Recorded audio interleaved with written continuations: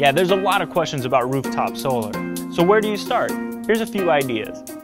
So anytime you're gonna make a significant purchase, you do some research. Just like finding an electrician or a plumber, you're doing a home renovation. So as you talk to solar installers, you gotta know the right questions that you wanna ask.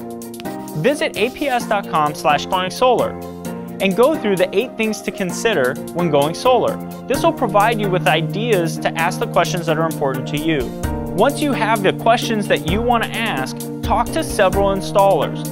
On that same web page, we have a list of installers that are Arizona based and they're also listed under the Arizona Registrar of Contractors. Take your time and talk to a few of them. Like we said, this is a big purchase, so make sure you're comfortable with who you're working with. Thank you for that question, and remember, go to aps.com slash askaps for more answers to your great questions.